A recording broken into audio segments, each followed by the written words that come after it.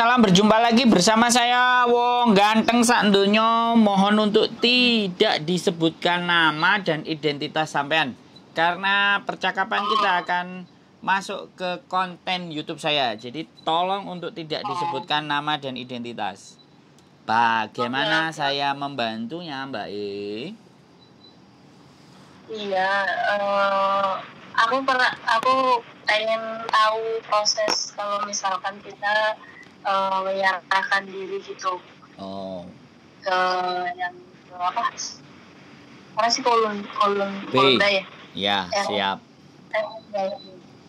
Berapa tahun sampean sudah overstay? Uh, berapa berapa ya? Sebenarnya sih bukan aku sih, cuman kebetulan temenku gitu dia dia nggak berani buat uh, tanya langsung jadi aku suruh nanyakan tapi aku deket banget sama dia. Ya, jadi aku suruh nanya dia gitu.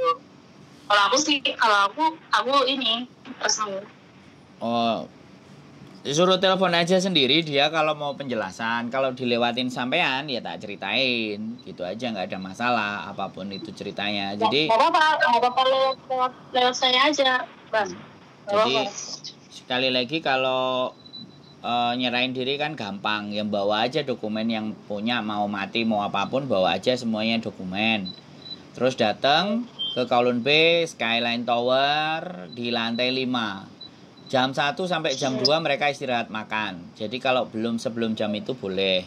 Nanti di situ ada juga baitoy ngantri. Jadi lapor aja di situ.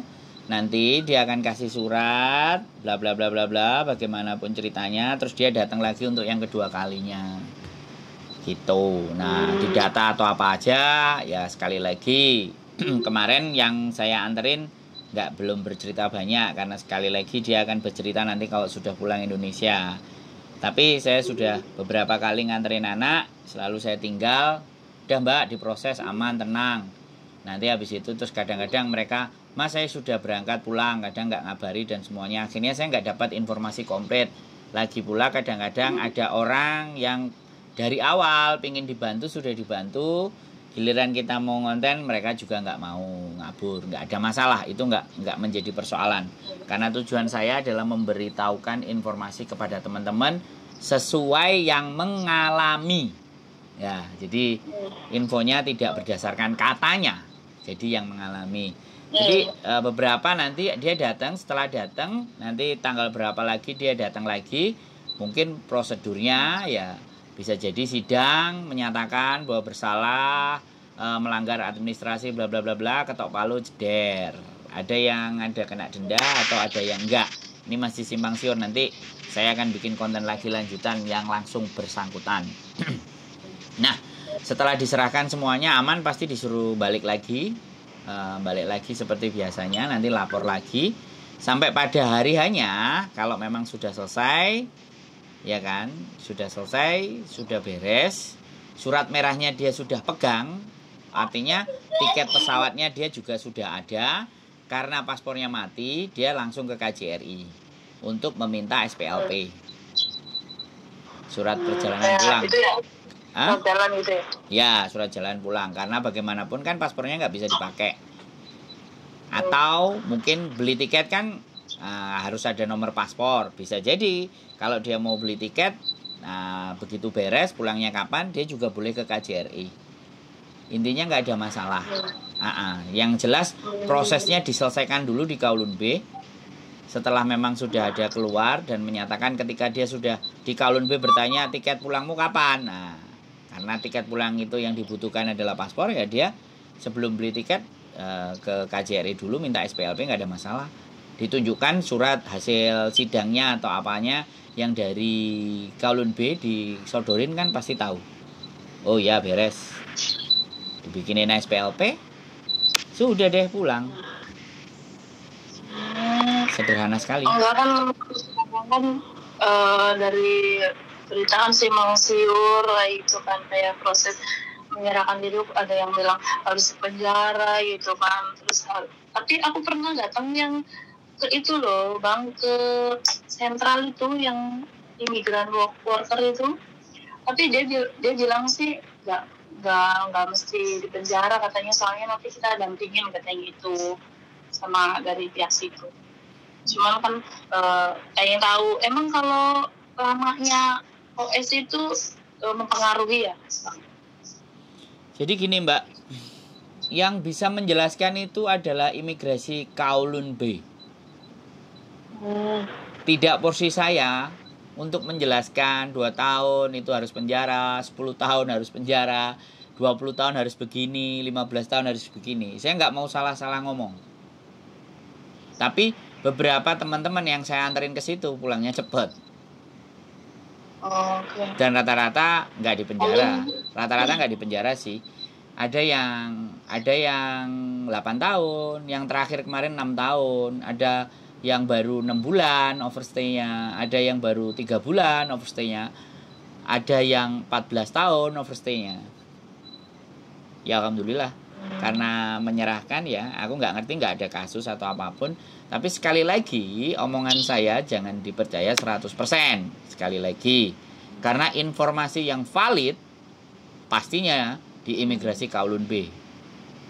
langsung gitu ya. Ah, ah, yang jelas saya cuma menyampaikan beberapa teman-teman yang dulu minta tolong ke saya untuk bagaimana caranya menyerahkan diri dan pulang. Alhamdulillah.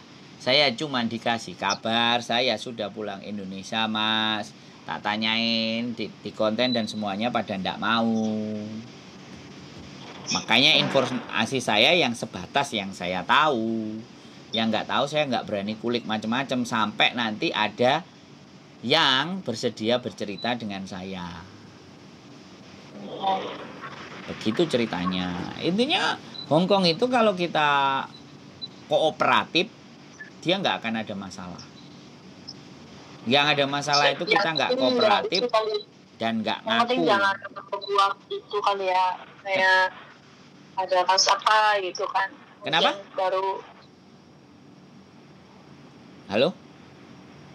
Ya? Sampai ngomong suaranya nggak jelas? Gimana? Mungkin kalau misalkan dia ada kasus apa gitu kriminal mungkin uh, prosesnya lama gitu tapi ya. kalau misalkan yang ya kalau misalkan kita ngikutin aturannya ya mungkin prosesnya gampang gitu. Iya karena Sekali lagi gini ya Mbak, saya tidak bisa mengorek informasi detail dari setiap individu. Hmm. Uh -uh. Jadi sekali lagi ya, kalau saya orang ditanya nggak mau, saya nggak akan paksa cerita Mbak. Bisa dipahami nggak? Hmm. Jadi ada orang yang tertutup, ya. tidak mau membagi informasi buat orang lain karena mereka merasa bahwa itu sesuatu yang nggak benar. Ya saya harus menghargai dong, benar nggak? Nah, saya nggak akan paksa. Saya akan meminta informasi bagi yang merasa bersedia berbagi pengalaman. Kalau enggak, nggak ada masalah.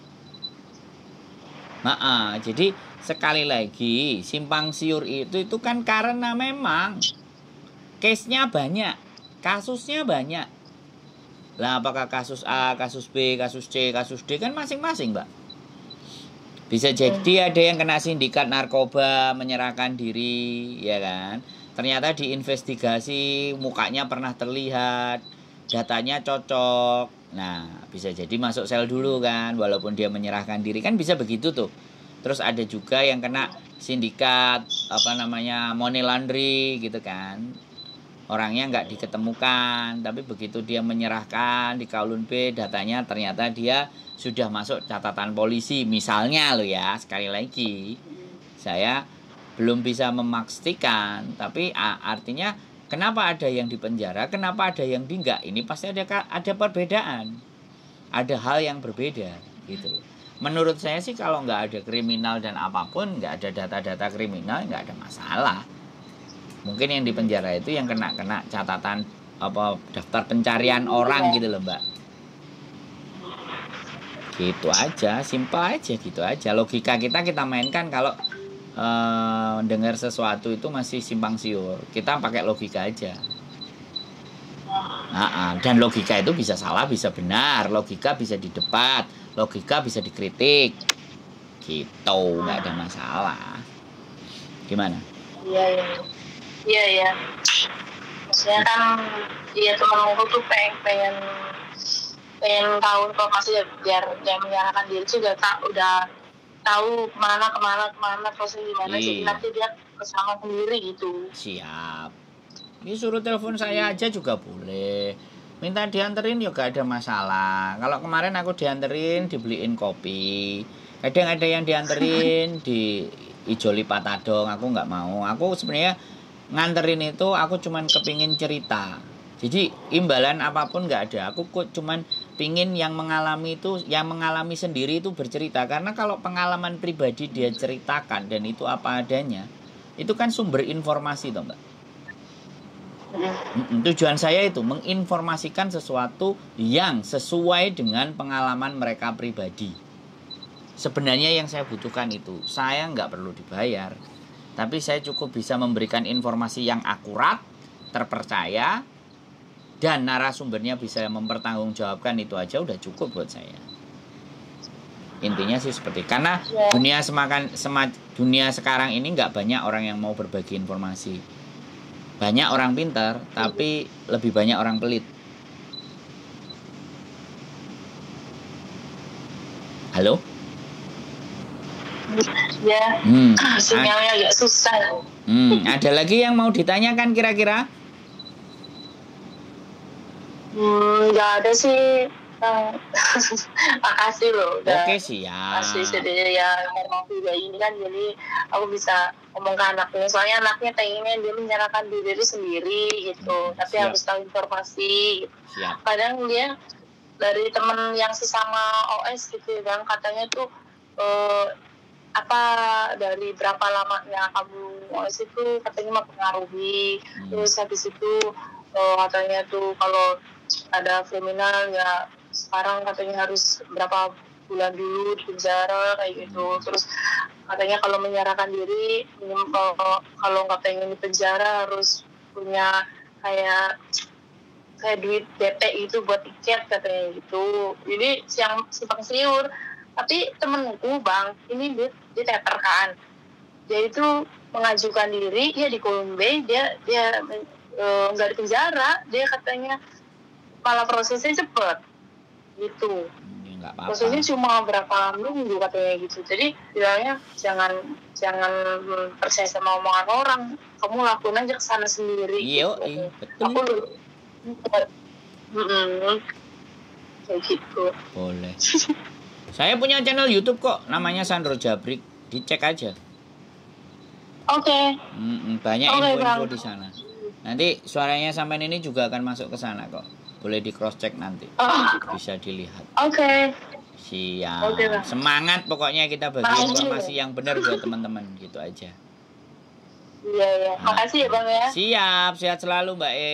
iya iya bye bye. Assalamualaikum.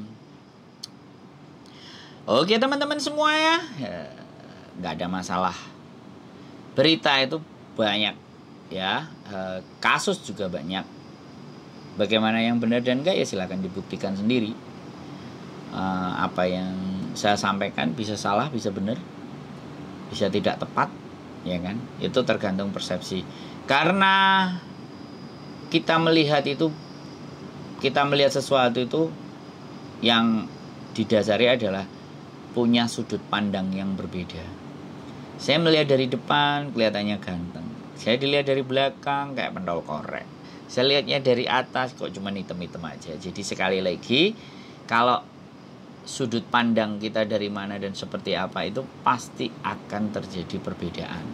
Di dalam hidup kita tidak mencari perbedaan karena perbedaan itulah yang sudah dinamakan sunatullah yang dari hidup kita itu bagaimana hidup kita itu mempunyai nilai yang bermakna. Jadi sekali lagi jangan memperdebatkan tentang sebuah perbedaan.